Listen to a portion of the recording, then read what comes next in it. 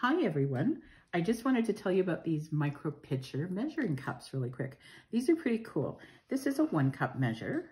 This is a two cup measure. These have sort of replaced the old glass measuring cups that we used to use all the time for me. They're pretty awesome. They, I also like the color a lot. They have a beautiful pour spout, so you're not making a mess everywhere when you're pouring.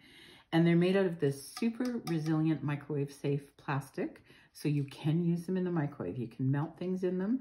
They're super resistant to high temperatures.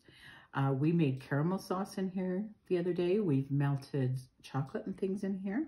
So popcorn, what do you put on popcorn? what do you put on popcorn? Butter.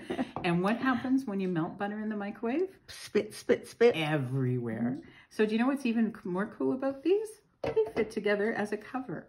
So when we're melting butter for the popcorn, put the cover on, not a mess in the microwave, rinse these off or pop them in the dishwasher because Tupperware is all dishwasher safe now and you're good to go.